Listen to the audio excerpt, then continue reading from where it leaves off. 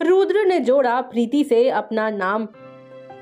शेषनागिन हुई और भी ज़्यादा शक्तिशाली आखिर क्या है पूरी अपडेट? चलिए आपको बताते हैं हमारे इस वीडियो में। वेल कलर्स टीवी के popular super serial Naagin six में इस हफ़्ते होने वाला है धमाल। आने वाले एपिसोड में आप देखेंगे कि रुद्र अपने डॉक्यूमेंट्स में करते हैं अपना नाम चेंज और अपने नाम के साथ जोड़ देते हैं प्रीति का नाम। जी हाँ बिल्कुल सही सुना आपने। ये देख प्रीति हो जाती है काफ़ी ज़्यादा खुश। इतना ही नहीं, दूसरी ओर हम देखेंगे कि शेष नागिन और शक्तियाँ मांगती है जो उन्हें दे दी जाती है। वेल आने वाले इस ट्रैक पर क्या है आप सभी का कहना कमेंट्स के ज़रिए हमें ज़रूर बताएँ साथ ही टेलीविज़न से जुड़ी तमाम लेटेस्ट अपडेट्स के लिए हमारे चैनल को सब्सक्राइब करना ना भूलें